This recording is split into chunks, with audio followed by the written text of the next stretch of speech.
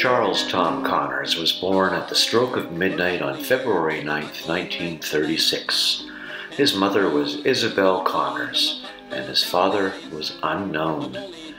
Isabel was only 16 or 17 when she had him, and that's how Tom always referred to her, by her first name. Tom said years later that the Connors name was from his maternal grandfather, a Boston sea captain. I'd tell his story here basically the same way he spells it out in his excellent two volume autobiography, Before the Fame and the Connors Tone. It's a coming of age story through which he describes himself from his earliest memories to his retirement. The man we'd come to know as Stompin' Tom Connors was underappreciated. In his writing, the depth and breadth of his thinking is quickly obvious. He was bright, certainly bright enough to carve out an unlikely career in music, and he was a poet like none other. As a boy in the seaside Canadian city of St. John in the province of New Brunswick, the Maritimes, population approximately 50,000 in the late 1930s, he describes in his book how he could remember all the way back to just being nine months of age. He remembered his first steps. He remembered his first escape from the crib. This happening at his grandparents' home with whom he and his then unwed mother lived. When he was three years old, he was impressed by a royal visit to the city as King George and Queen Elizabeth toured Canada. He describes in detail his memory of the pomp in his book, and how only a few weeks later, both his grandparents would die, leaving he and his mother alone to fend for themselves. His would prove to be a difficult story about an often difficult life. Tom mentions, of course, his first musical heroes, Canadian icons like Wilf Carter and Hank Snow, also from the Maritimes. Hank Snow, when not yet famous, would sometimes go to their house to sing and drink. Tom became a three year old hitchhiker when he and his mom went to see relatives in distant Tusket Falls, Nova Scotia, near Yarmouth, some 700 kilometers distant. Traveling from St. John, New Brunswick must have taken weeks on those 1939 roads. He describes the hardships of that trip and feeling down and hungry. It was during this trip he noticed his mother only had half a thumb on one hand the act of thumbing for rides made her deformity stand out to him for the first time. The story was, as a little girl in a poor family, a brick she was playing with was dropped on her hand, lopping half the digit off against the edge of concrete steps. Tom couldn't know then how her missing thumb would factor into his destiny. At last in Yarmouth, Tom and his mom employed a survival technique they'd sadly have to frequently repeat. They dined and dashed, this time at a Chinese restaurant. His mom told him to wait outside as she placed another order. As the waitress went into the kitchen, Isabel darted out and scooped up Tom, and they hightailed it down the road. Later at their destination, little Tom astonished the adults by showing he could remember many songs, singing and dancing. But after some time in Yarmouth, their luck and their welcome had run out, and they returned to St. John, back to hunger cold, poverty, petty thefts, loneliness, and bullies. Isabel married, and Tom would take his stepfather's name to become Charles Messer. He tells in the stories of this period of his life being sexually assaulted by a soldier, being abused by his stepfather, being in constant danger during life in St. John in the early 1940s, and how he even almost drowned in filthy Courtenay Bay. His mother would have another child, but his first sibling died as an infant from failed surgery to remove a large birthmark. There would be another sibling before long. With Mum in jail for stealing a baby carriage, Tom's stepfather had an affair, prompting young Tom to run away from home for the first time. His mother eventually finally left his stepfather, and so to Montreal they hitchhiked, she, the baby, and Tom, who was then only six years old. They bounced around Montreal from room to room, surviving on scant welfare and odd jobs. Tom looked after baby Nancy when mother was out. He describes how he got impetigo on his hand, a bacterial infection which causes blistering and leaving permanent scars. He tried going to school, but he was beaten up so much he stopped. Eventually, they hitchhiked back to St. John, staying at what he called French people's houses. To quote Tom's feeling about his early youth, I moved more times than most people do in a lifetime. As a young teen, Tom would finally meet his real father. He somehow managed to pay for a train to Halifax to see his dad, but only briefly, and he bemoaned in his book how it didn't work out. It was very tough times, still dining and dashing, no money, and few prospects for a better life. With the Great Depression fresh in people's minds and World War II raging overseas, into the slums of Halifax he descended. There he caught diphtheria, another bacterial infection, this time of the throat and respiratory tract. He had drunk water from a rusty can in the garbage, and the resulting disease put him in a nine day coma. He was not expected to come out of it, but somehow survived. When he woke up to the celebration of his recovery, he was singing the Star Spangled Banner. That was the first thing out of his mouth, the American national anthem. His mind seemed to be wired for music for sure. After nothing but bad luck in Halifax, the three of them, Mom, young Tom, and the baby, hitchhiked to the Annapolis Valley. There they ended up having to steal groceries, and they broke into a cabin for shelter. But they were arrested, and all three together did a month in jail with mice and bedbugs, lice. This when they were not chained in the jail yard. But he points out one big plus from during their incarceration. They were regularly fed. To Digby, Nova Scotia for a bit, then the ferry back across the Bay of Fundy to St. John. He described how, if Isabel knew what was going to happen to Tom there next, she wouldn't have gone an all police bulletin was out for her. While buying milk for the baby, someone recognized her and called the police. He remembered a big tussle, how mom and baby were shoved in a police car, she screaming and crying. Tom was taken to the Children's Aid, knowing that maybe this would be the last time he'd see his mom. He writes, That was when the light went out of me. At Silver Falls Orphanage outside of St. John, Tom tried to escape the very first day. Later, outside one day while playing, his mother was hiding in the woods nearby with a sack full of candy and some cake. She had briefly escaped to see him. She knew their fate and said they wouldn't see each other for another six or seven years, and they talked about how they could identify each other in the future, because they would both change. They would recognize each other by Tom's hot dog shaped birthmark on his neck, and she by her half thumb. The bag of candy she gave him was spilled in a tussle and ravaged by the other kids. After many difficult months at the orphanage, Tom was now nine. Adopted by another family, he was on his way to Skinner's Pond, Prince Edward Island. For good or bad, Skinner's Pond would become central in his life from then on. In the beginning, his adoptive family's rural home near the northwestern tip of the island had no electricity or plumbing. And strict discipline and beatings and belittlement were in plenteous supply for him just being an orphan. He went from one hell to another even more distant hell, and he sorely missed his mother now across the Northumberland Strait. He'd spend four years on the island until he finally escaped back to St. John. Back in New Brunswick, he was recaptured by the Children's Aid, but older now and able to fend for himself. He was offered a room if he went to school and would behave until he was 16. So he worked in a bowling alley, shoveled snow, and eventually saved $19 for his first guitar, only 14 years old, all the while searching for a black haired woman with a thumb on her right hand missing. He had no pictures of her and didn't know any more what she would look like lonely and craving any affection. He went back to Skinner's Pond the next summer and tried to patch things up with his foster mom, an unflinchingly hard woman. His good intentions, though, didn't work. The visit didn't last. But people did enjoy his guitar playing.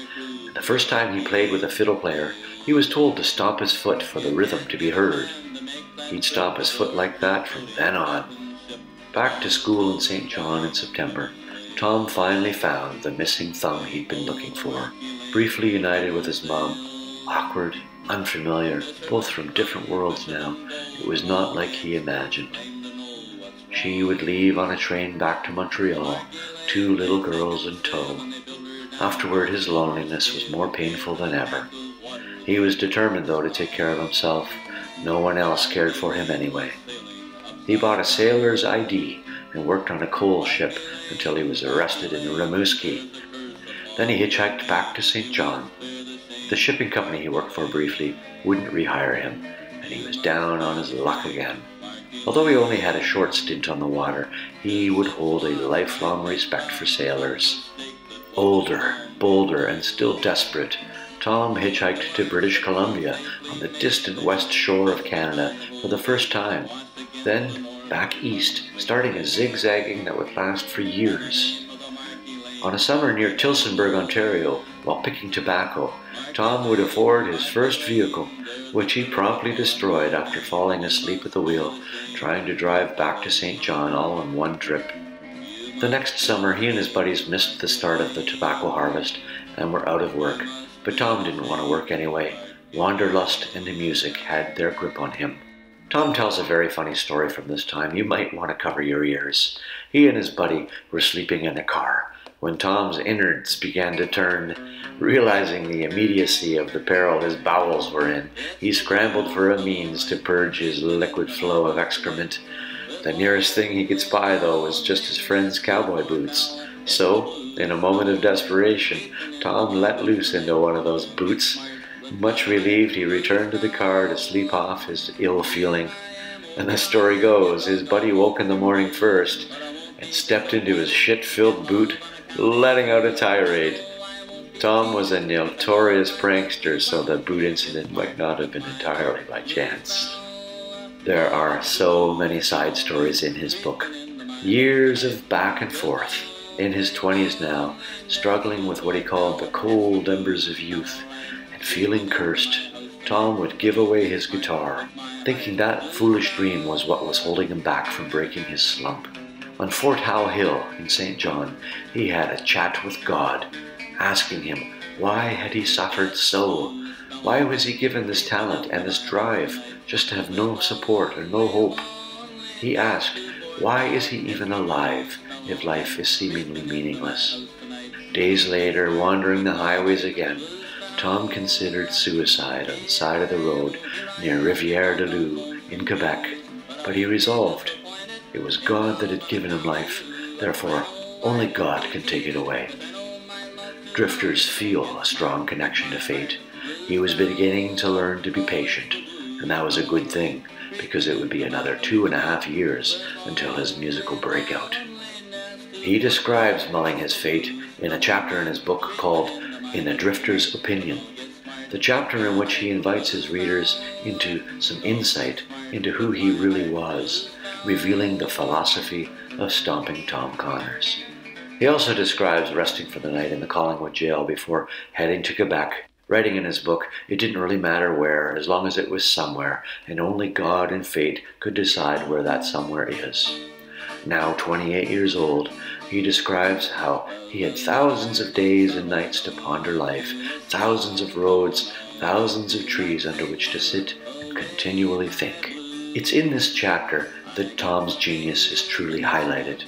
He can be mistaken on the surface of his seemingly simplistic music and gruff exterior to be a dull man, but Stomping Tom Connors was anything but dull.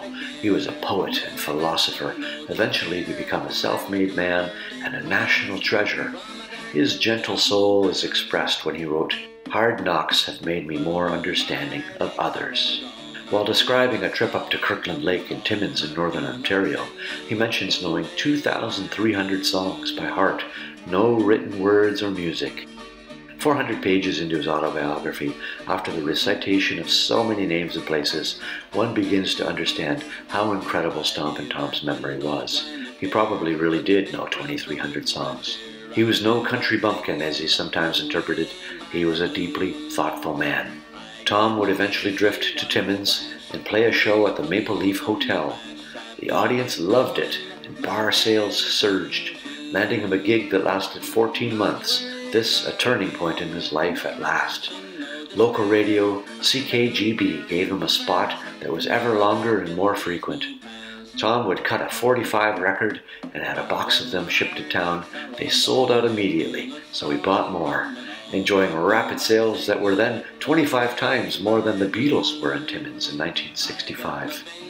At the Maple Leaf Hotel, a group of teachers who had returned from a trip to Europe commented how they knew no Canadian songs, but here was a guy singing about Canada.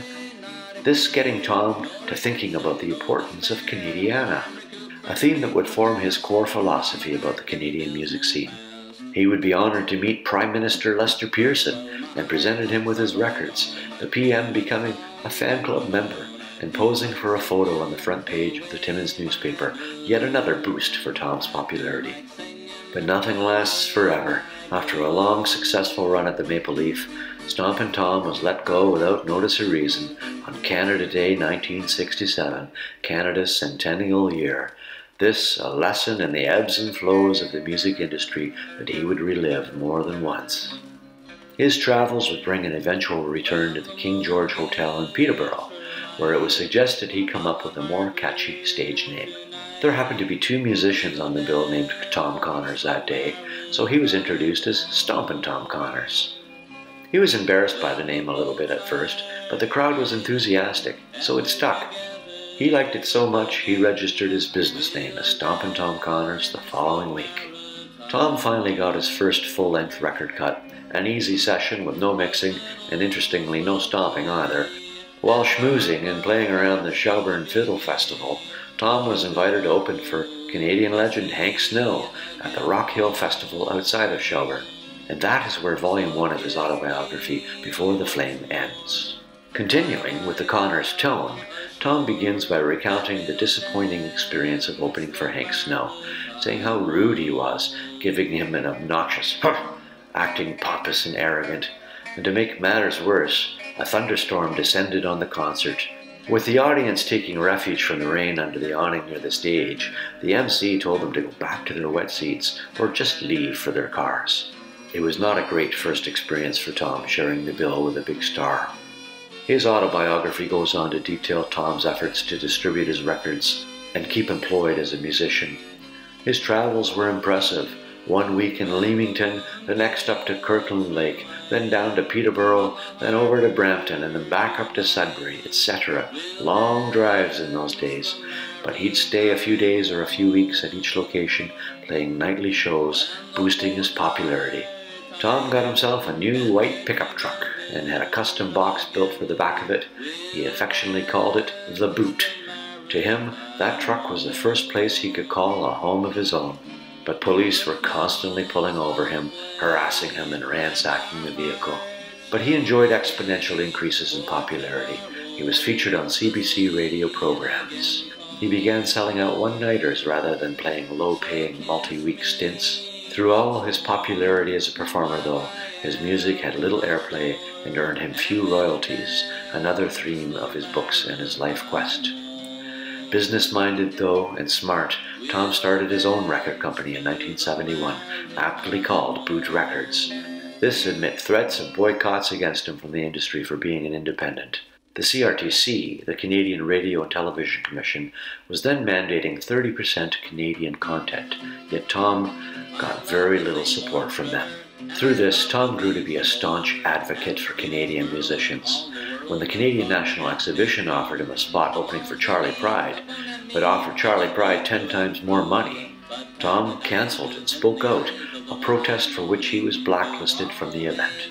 As a result, record companies said they would never play his records from his rogue label. This a threat they carried out.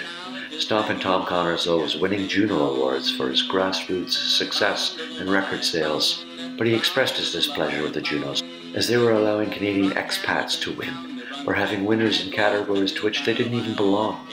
He staunchly felt that the Junos were diminishing the potential of honest Canadian musicians. His dispute with what was then the Canadian Academy of Recording Arts and Sciences grew, and Tom returned his six Juno Awards before taking a year off from touring, to the protest of his fans.